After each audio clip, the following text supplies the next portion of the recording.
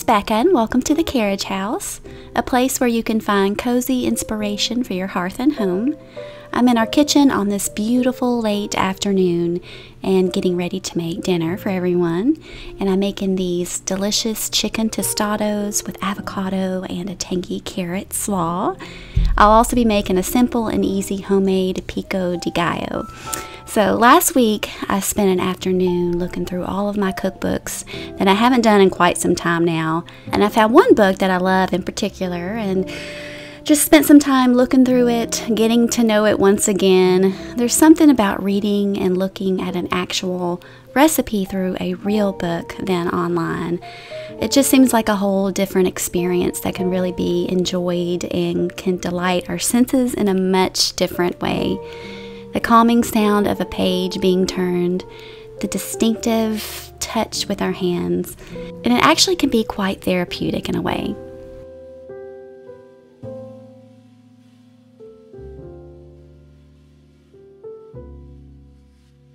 I preheated my oven to 375 degrees and started making the coating for the chicken.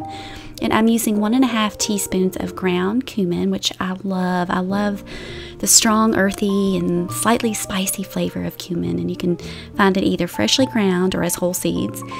And then I'm going to add a half teaspoon of kosher salt that I like to keep in this little vintage salt cellar here.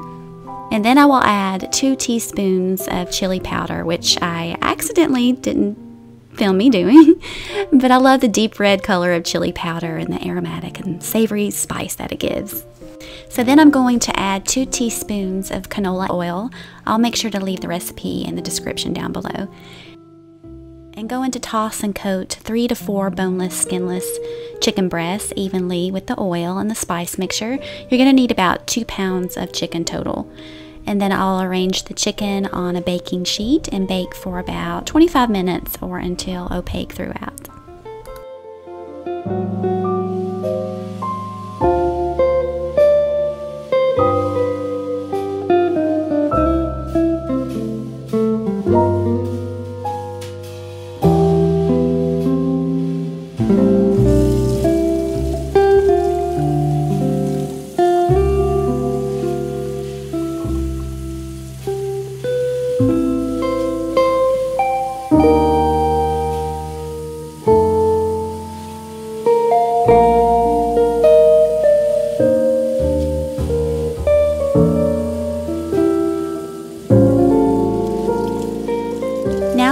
Turn my attention to the tangy carrot and lettuce slaw.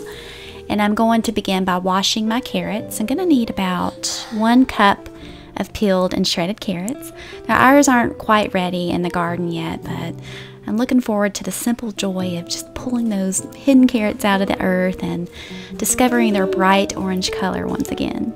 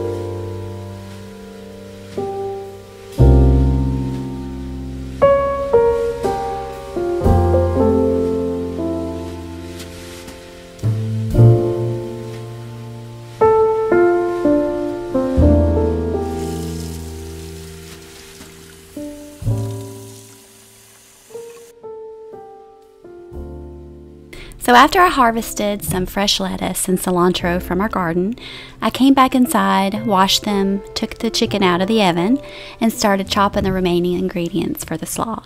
Here in Iowa, we have a really short growing season, so I can't wait to see everything come alive this summer. There's something wonderfully gratifying about gardening. It involves exercise, which is good, mindfulness, delicious and healthy food, and just by bringing intention and reflection into reaping what we sow, gardening can provide a window into our own life. And when you garden, it's easy to see that giving and receiving at work. Okay, so I whisked together two tablespoons of olive oil and one tablespoon of cider vinegar in my bowl, and I seasoned it with just a pinch of salt and, and freshly ground pepper. And then I'm going to add my fresh lettuce, carrots, and cilantro and going to toss to mix and coat really well. And you can always adjust the seasonings if you like, but I find that it's really important to dry lettuce completely before adding oil and vinegar, otherwise the dressing will slide directly off the lettuce, which you don't want. And just going to set it aside to let the flavors mellow a little and ready to make some fresh pico de gallo. So I'm using five Roma tomatoes that I rinsed and going to dice them. And I cannot wait for our homegrown tomatoes to come in, but they do not start ripening at least here in Iowa, usually around August, which is so late, even when we plant them after the, la- the last frost.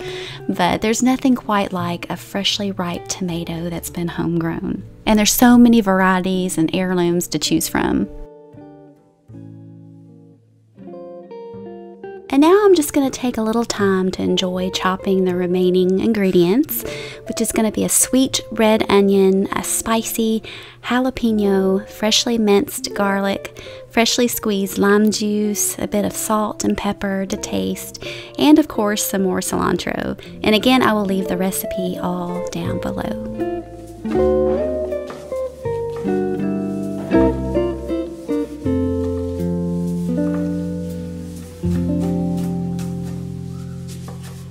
Música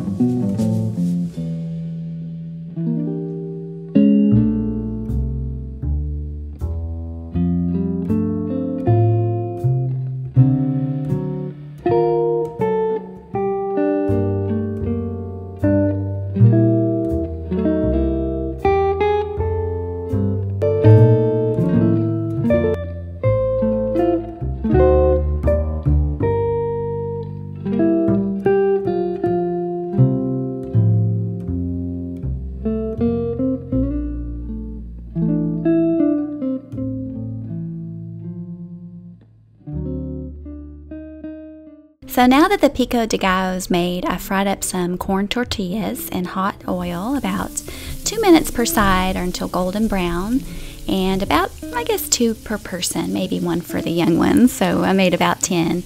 And you can certainly use store-bought tostados as well, but there's something about the, the homemade the homemade ones.